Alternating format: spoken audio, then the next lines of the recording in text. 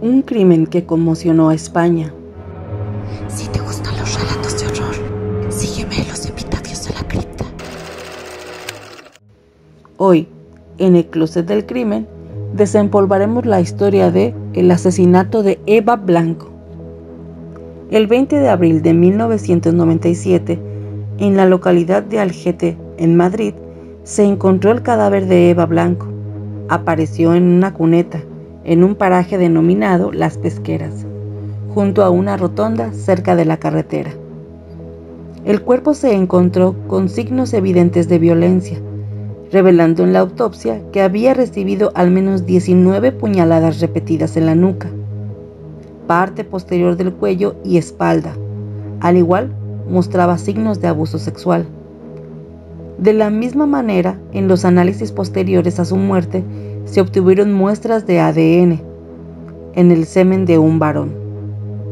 Pronto, se comenzó una investigación por la Policía de España, recibiendo el nombre de Operación Padilla, la cual se prolongó casi 18 años se centraron inicialmente en los círculos más cercanos de la víctima, como amigos, familiares y conocidos.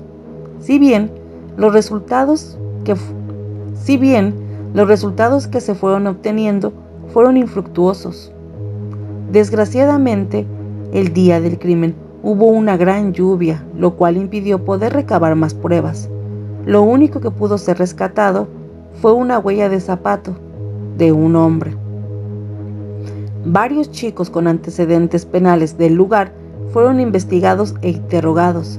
Sin embargo, no hubo arrestos por el crimen en ese momento.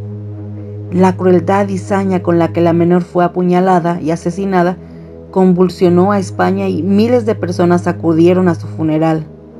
Los restos del semen encontrado en la vagina de Eva Blanco impulsaron la agresión sexual como posible móvil del crimen. Al cabo de dos años, el alcalde del lugar les pidió a todos los varones del área que fueran de manera voluntaria a dejar una muestra de su ADN.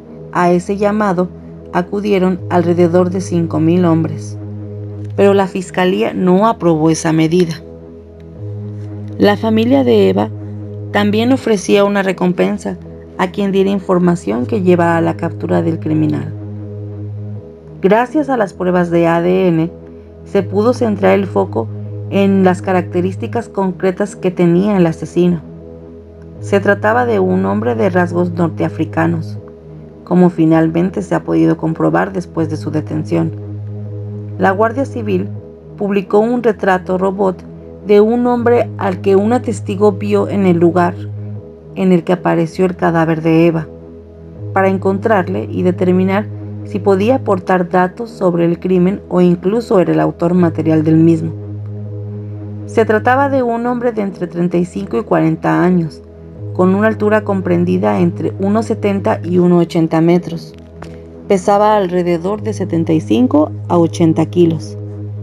Además del testimonio de esta nueva testigo, se desprendía que el hombre tenía el pelo castaño, corto y de punta.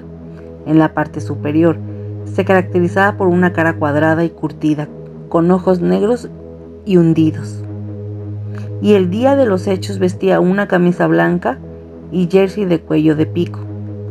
Las confesiones de este testigo contrastaban con otras manifestaciones recopiladas en el año de 1997, que apuntaron también a la existencia en la zona de un, de un vehículo Renault 18 de color blanco. El 1 de octubre del 2015, gracias a todas las características que arrojó el ADN, se dio con la identidad del asesino su nombre era Ahmed Chel. Fue detenido en Francia.